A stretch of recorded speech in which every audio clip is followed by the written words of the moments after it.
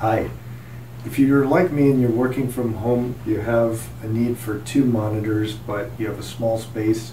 You don't want to mount the monitors to the wall. You don't have room for a big desk.